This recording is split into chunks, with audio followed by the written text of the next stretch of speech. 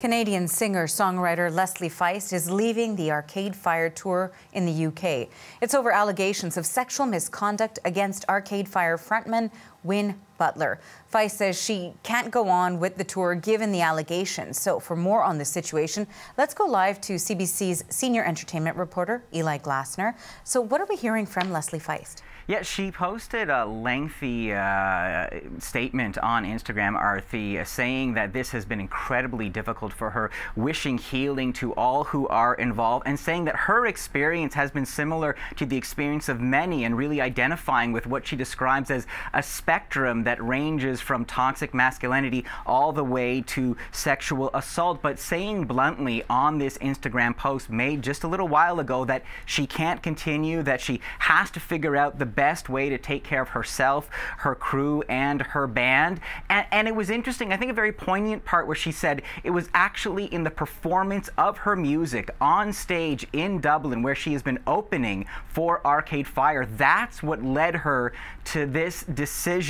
Let's uh, take a look. I'm going to read you part of her statement. She says, The last two nights on stage, my songs made this decision for me. Hearing them through this lens was incongruous with what I've worked to clarify for myself myself through the, my whole career. And so she says she is claiming her responsibility, something she has sung about in her songs as a very kind of strong, independent uh, uh, rock star. And uh, she is going home. Now, as you mentioned, this stems out of a report that was published in Pitchfork, a music news publication, four people making allegations against the lead singer of Arcade Fire, Win Butler. CBC News has not independently verified these allegations. They have not been proven in court. There are no criminal charges, but the allegations reported in Pitchfork range from unsolicited uh, text messages to photos to allegations of forceful touching and certainly situations and allegations of an uneven power dynamic. And I think it's worth pointing out, I mean, you see the footage there from Dublin uh, from the previous evening. You see Win uh, playing on stage with the band, a, a band where he performs on stage with his wife. Now, I should also point out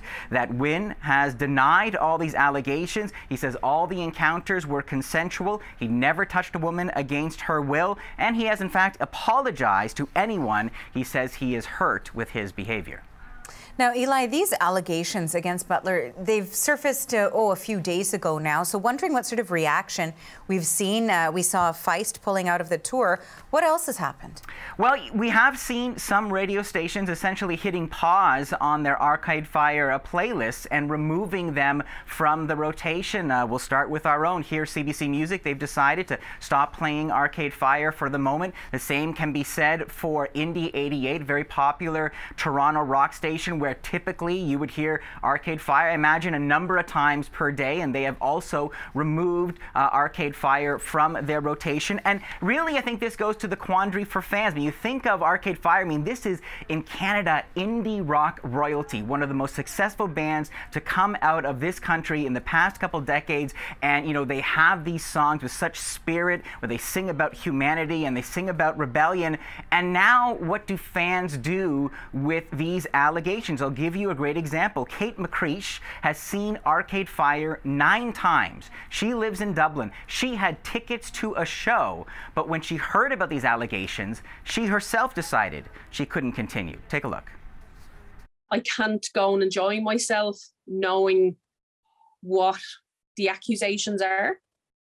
And I, I just I couldn't stand there and support Win Butler. I'd love to support the rest of the band, but I can't support him and enjoy myself.